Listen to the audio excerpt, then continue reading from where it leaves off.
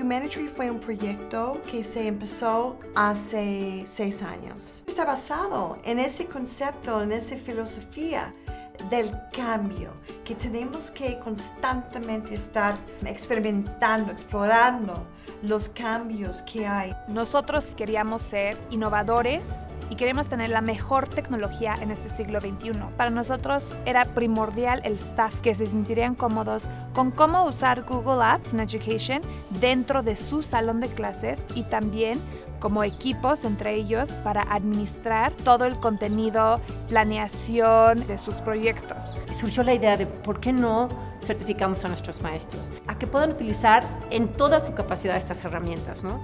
Empezamos con el staff, un curso de 12 semanas y una vez a la semana, una hora, venían y aprendían sobre un diferente tema dentro de Google Apps in Education. En un principio pensamos en preparar nosotros cada una de las unidades y presentarlas y decidimos abrirlo a todos los maestros. Les pedimos que eligieran una unidad. Para Google Training hay diferentes temas y fue así como nosotros empezamos a dividir entre todos y vas tomando tema por tema, ¿no? Cada semana hicimos un tema, a veces hacíamos dos, cada tema es sobre una aplicación diferente de Google, cómo usar tu Drive. Tú dabas la clase, tú eras el maestro de esa clase, de esa aplicación en específico. Todo esto te lo voy explicando en el training y eso es lo que nos ayuda a nosotros como un grupo de estudio a aclarar todas las dudas que se tienen dentro de la aplicación porque llegas a un mundo nuevo realmente. Presenté mi examen y la verdad no está difícil, es rápido, es práctica también a la misma vez.